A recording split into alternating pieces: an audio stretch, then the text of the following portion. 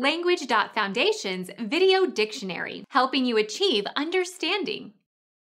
Not having come to an end or been terminated by passage of time. Elected to fill the senator's unexpired term. Become our student and get access to effective and free educational materials. Subscribe to our channel to become a part of our growing community and to learn English effectively.